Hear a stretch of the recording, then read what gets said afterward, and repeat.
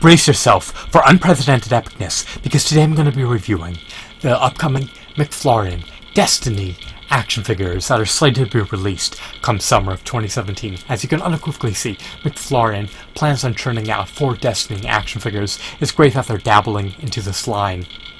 We finally get our favorite Destiny characters realized in action figure form. They include Lord Saladin, they include the Iron Banner Hunter action figure, the Vault of Glass Titan action figure, and last but not least, the King's Fall Warlock action figure. I'm not well acclimated with the series, but I do know that these characters have merit. So, the issues appertaining to these figurines are numerous. Their joints are flimsy, these characters are lean, they're not brawny, they're not burly, and their joints may sever, they may easily come apart, so that can be a major issue. Another issue is they seem to lack accessories. It's just quite a pity and a shame that you're paying over $20 for figurines that are devoid of accessories. But um, I would say that there are some redeeming qualities about these figurines. Their textures, their aesthetics, their sculpts, their hues, their designs, their cosmetics, their details are just incredible, so McFarlane deserves their accolades for going the extra mile on designing these figures. So they have incredible designs, they have incredible sculpts, their shadings, their hues, their textures, their overall likeness to the Destiny characters is just incredible.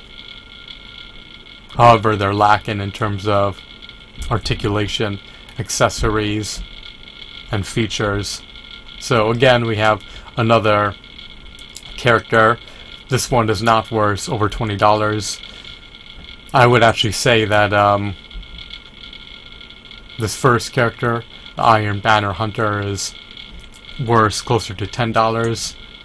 This um, Vault of Glass Titan figurine may be worth a bit more.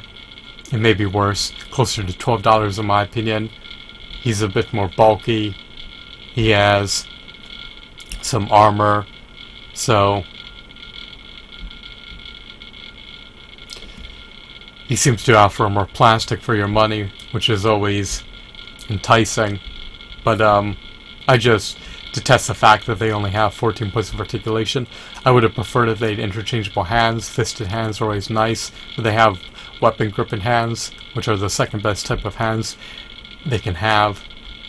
It's nice that he has a belt, but it can't come off. His armor can't be removed, which is a missed opportunity because it could have allowed for some variation in terms of his appearance.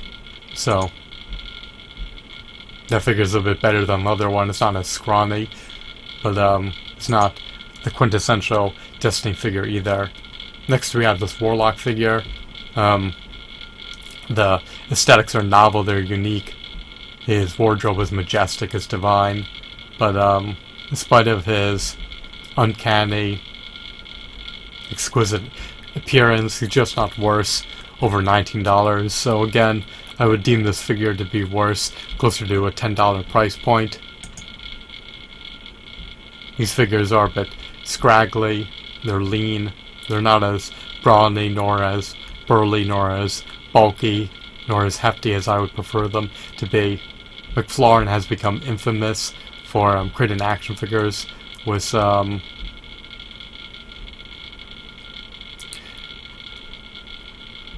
articulation issues and with weak joints, so these figures may be apt to come apart easily.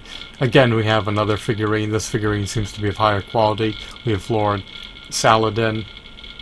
I would be content with spending closer to $20 for this figurine, but even though he stands 10 inches tall, even though he dwarfs most figurines, even though he has a cloth cape and a helm and a helmetless head, even with all that, he's still not worse, closer to $40, but I would buy him for closer to 20 so the asking prices of these figurines are nearly twice as much as I would be willing to pay for them. But um, if you're an avid devout Destiny fan, then you'll be pleased to know that um, your favorite characters are being realized in action figure form. Hopefully these prices will plunge. If not, then I may consider buying them for closer to their asking prices if I have them if I have some spare cash to um deplete. But I doubt I'll, I, I doubt that I'll have any disposable income, so I'll have to unfortunately abstain and desist and refrain from buying any of these figurines until their prices plummet and until I can afford them for their asking prices. So as a totality, I'd rate this lot to be a 4 out of 10. Yes, they are amazing in terms of their sculpts and details and shadings and textures and hues and aesthetics and designs, but um, they're lacking in terms of accessories, articulation, and in terms of um, integrity. So I have a hunch that three of these figures can easily come apart. Lord Saladin may be a bit more sturdy, but again, it's it's a salient issue that um, the structural integrity of these figures can easily become compromised. So that's my review of the McFarlane Toys upcoming 2017 Destiny action figures. I hope that you found this video to be insightful and enthralling. Have a wonderful, marvelous day. Goodbye.